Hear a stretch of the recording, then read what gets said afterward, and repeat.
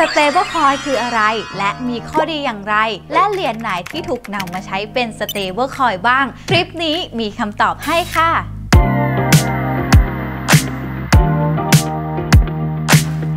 เชื่อว่าหลาย ๆ คนในยุคนี้ต้องรู้จักคริปโตเคอเรนซีกันอย่างแน่นอน แล้วรู้หรือไม่คะว่าคริปโตเคอเรนซีเนี่ยถูกแบ่งออกเป็น 2 ประเภทใหญ่ ๆ ด้วยกัน ซึ่งเหรียญประเภทแรกนะคะ จะเป็นเหรียญที่มีมูลค่าผันผวน อย่างเช่น Bitcoin Binance Bitcoin Binance Ripple หรือว่า Ethereum ส่วนเหรียญประเภทที่ 2 เนี่ย จะเป็นเหรียญที่มีมูลค่าคงที่ หรือที่เราเรียกกันว่า Stable Coin ค่ะ ซึ่งการออกเหรียญ Stable Coin แต่ละเหรียญนะคะ จะต้องมีสินทรัพย์ที่ถูกนำไปอ้างอิง โดยมูลค่าของแต่ละเหรียญเนี่ย จะถูกเปลี่ยนจากสินทรัพย์จริง ๆ ไปเป็นสกุลเงินดิจิตอลบนโลกคริปโตเคอเรนซีของเรานั่นเองค่ะ ข้อดีก็คือความโปร่งใสในการทำธุรกรรมที่อยู่บนเทคโนโลยีบล็อกเชน ทั้งยังสามารถโอนเหรียญให้กันได้ทั่วโลก และรวดเร็วมากยิ่งขึ้น เพราะว่าไม่ต้องผ่านตัวกลาง วันนี้ฮันเตอร์เลยขอยกตัวอย่าง 2 เหรียญ Stable Coin มาให้เพื่อนๆดูกันค่ะ เหรียญแรก USDT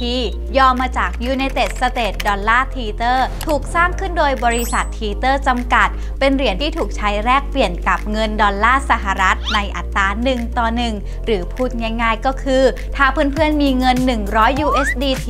ก็จะสามารถแลกเป็นเงินได้ 100 USD นั่นเองค่ะ นอกจากนี้นะคะ USDT ยังเป็น Open Source ที่ทำงานอยู่บนบล็อกเชนของ OMNI และ ERC20 อีกด้วย และเหรียญที่ 2 นั่นก็คือ USDC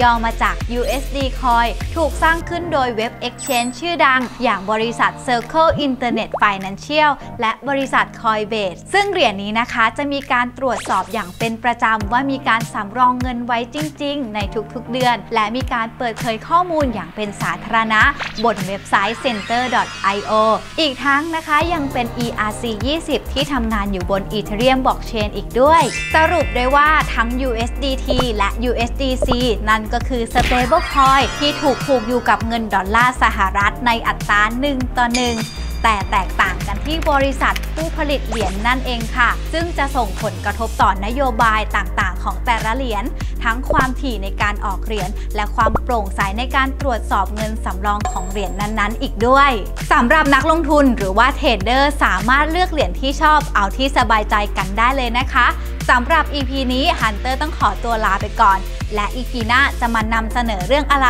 อย่าลืมกดติดตาม กดไลค์ กด Subscribe เป็นกำลังใจให้ฮันเตอร์ด้วยนะคะ และพบกันใหม่ EP หน้า บ๊ายบาย